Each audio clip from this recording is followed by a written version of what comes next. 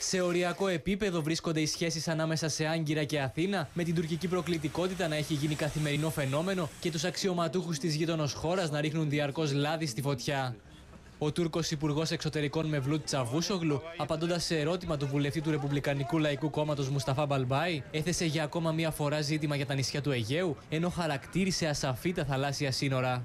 Το καθεστώς κυριαρχίας κάποιων νησίδων και βραχονησίδων και τα θαλάσσια σύνορα σε σχέση με αυτά στο Αιγαίο δεν είναι καθορισμένα με κάποια ισχύουσα διεθνή συμφωνία μεταξύ της Τουρκίας και της Ελλάδας. Και είναι αλήθεια ότι εξαιτίας αυτού του γεγονότος δημιουργούνται μια σειρά από προβλήματα. Ο Μευλού Τσαβούσογλου αμφισβήτησε εκ νέου την ερμηνεία της συνθήκης της Λοζάνης, ενώ κατέληξε λέγοντας ότι από την ημέρα που ανέλαβε τη διακυβέρνηση της χώρας στο ΑΚΕΠ δεν έχει αλλάξει τίποτα στο καθεστώς του Αιγαίου. Το Υπουργείο μας από το 1996 με ανακοινώσεις του έχει αναφέρει τις απόψεις του για τα προβλήματα του Αιγαίου και πως δεν θα επιτρέψει τετελεσμένα σε γεωγραφικούς σχηματισμούς που δεν έχει καθοριστεί το καθεστώς τους. Όπως και πως οποιασδήποτε ενέργειες δεν θα δημιουργήσουν κάποιο νομικό τετελεσμένο.